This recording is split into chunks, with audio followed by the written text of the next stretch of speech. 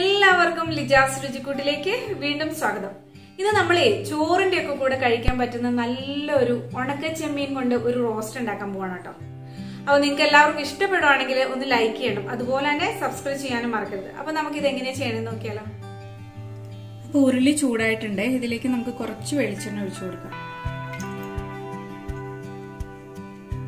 അപ്പോൾ വെളിച്ചെണ്ണ നന്നായി ചൂടായിട്ടുണ്ട് കേട്ടോ. അതിലേക്ക് ഒരു പീസ് ഇഞ്ചിയാണ് കേട്ടോ. അത് കനം കുറച്ച് അരിഞ്ഞെടുത്താണ്. അത് നമുക്ക് ആദ്യം ചേർക്കാം അതുപോലെ തന്നെ ഒരു മൂന്ന് പച്ചമുളകാണ്. അത്യാവശ്യം എരിവുള്ള പച്ചമുളക്. അതും കൂടി ഇട്ട് കൊടുക്കും.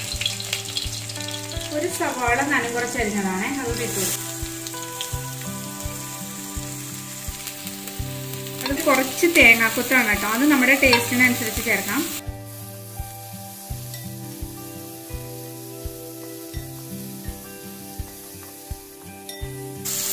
നന്നായിട്ട് ഇളക്കി കൊടുക്കാം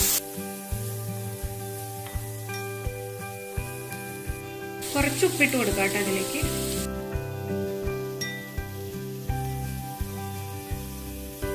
അതുപോലെ തന്നെ കുറച്ച് കറിവേപ്പിലയും കൂടെ നമുക്ക് ഇട്ട് കൊടുക്കാം കേട്ടോ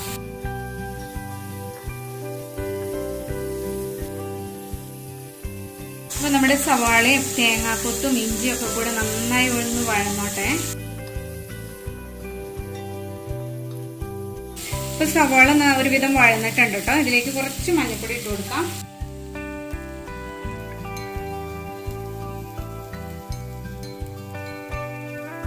അതുപോലെ തന്നെ മുളക് പൊടി ഒരു ടീസ്പൂൺ ആണ് കേട്ടോ. ഒരു ടീസ്പൂൺ ഇട്ടിട്ടുണ്ട്. ഒരു കാൽ ടീസ്പൂൺ ഫിഷ് മസാലയും കൂടി ഞാൻ ഇതിലേക്ക് ഇട്ട് കൊടുക്കണ്ട കേട്ടോ.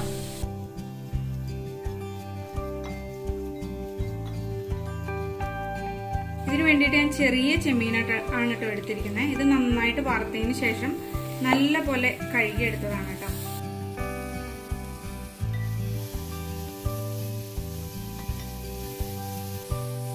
ചെമ്മീൻ ഇട്ട് കൊടുത്തതിന് ശേഷം ചെറിയ തീയിൽ നല്ല പോലെ ഇങ്ങനെ വറുത്തെടുക്കണം കേട്ടോ ആ നേരത്ത് നമുക്ക് ഉപ്പൊക്കെ നോക്കിയിട്ട് ഉപ്പ് വേണമെങ്കിൽ ചേർത്ത് കൊടുക്കാം. എനിക്കൊരു ഇത്തിരി ഉപ്പ് കുറവുണ്ട് കേട്ടോ ഞാൻ കുറച്ച് ഉപ്പൊടി ഇട്ട് കൊടുത്തു. എരിവൊക്കെ നല്ല പാകത്തിനാണ്.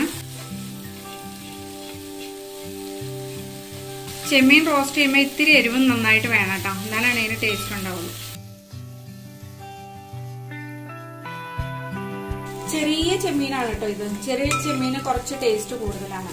ചെറിയ ചെമ്മീൻ ആയതുകൊണ്ട് ഞാൻ ഇതിന്റെ തലയൊന്നും കളഞ്ഞിട്ടില്ല കേട്ടോ.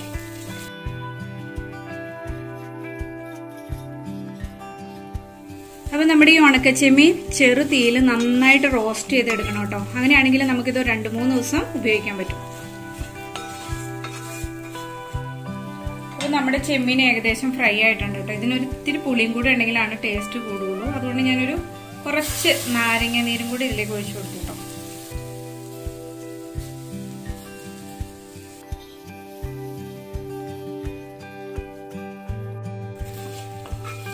ഇപ്പൊ നമ്മുടെ അടിപൊളി ചെമ്മീൻ റോസ്റ്റ് ഉണക്ക ചെമ്മീൻ റോസ്റ്റ് ഇവിടെ റെഡി ആയിട്ടോ. നല്ല മണമൊക്കെ ഉണ്ട് നല്ല തേങ്ങാക്കുത്തിന്റെയും സവോളയുടെയും ഒക്കെ. അപ്പൊ നിങ്ങൾക്ക് എല്ലാവർക്കും ഈ റെസിപ്പി ഇഷ്ടമായിട്ടുണ്ടെങ്കിൽ എല്ലാവരും ഒന്ന് ട്രൈ ചെയ്ത് നോക്കൂ എന്നിട്ട് നിങ്ങളുടെ അഭിപ്രായങ്ങളൊക്കെ അറിയിക്കണം കേട്ടോ. അപ്പൊ നമ്മൾ പുതിയൊരു റെസിപ്പിയുമായി അടുത്ത വീഡിയോയിൽ വീണ്ടും കാണാം.